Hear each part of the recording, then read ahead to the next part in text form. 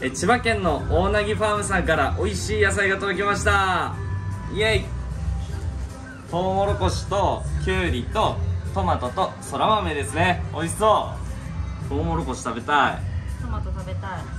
そら豆食べたい。きゅうり食べたい。皆さんぜひ、えールートゼロで大凪ファームさんの美味しい野菜を食べに来てください。お待ちしてます。